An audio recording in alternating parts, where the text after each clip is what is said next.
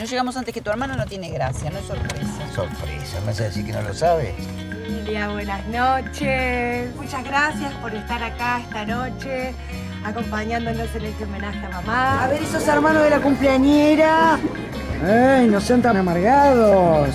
de tu madre, ella está al tanto de todo esto, ¿no? ¿De esto de qué? De toda esta murga que armó, me imagino que se idea ella. La mesa más divertida. Veo que invertiste. He bordado, no te creas. Es un recuerdo que le va a quedar para toda la vida.